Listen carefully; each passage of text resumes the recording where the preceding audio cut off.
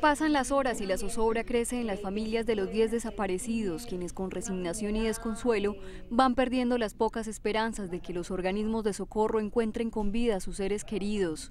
Él era una persona que nos insistía mucho, que nunca hizo eso, siempre debajo una columna, pues buscar como el recurso que, que uno no le pueda caer todo encima. Él era pues, siempre era pendiente en esas cosas, de pronto en ese momento él habrá hecho la opción para él.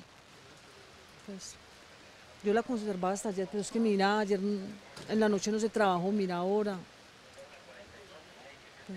Lo único que se pierde son las esperanzas, veremos a ver. No.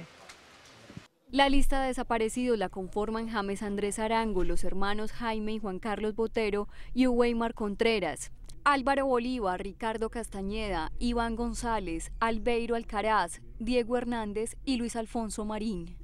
La solicitud de las víctimas es que el proceso de rescate avance y que el desmonte de la Torre 5 no se haga sobre los escombros de la Torre 6.